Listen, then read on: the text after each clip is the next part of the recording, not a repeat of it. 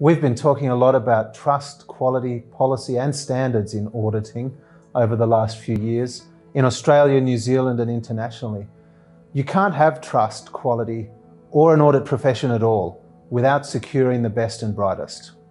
The pandemic has brought a sharp focus to the impact of a shortage in talent in audit, and we've been making some headway dealing with these short-term impacts with governments on both sides of the Tasman. But there's a much bigger picture here. We want to spark a conversation about people in audit, what attracts or repels them, how to keep them or have them come back into the fold, where they find meaning in their work and a lifelong calling. We've interviewed a whole range of people in audit, from small to large firms, looked at the latest research, and brought this together to map out a framework as a starting point for this conversation.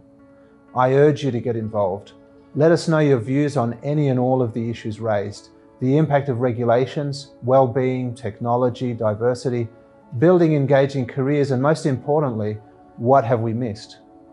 The work auditors do is more important than ever, bringing integrity, in the information age, and there are enormous opportunities, but also challenges ahead for the profession.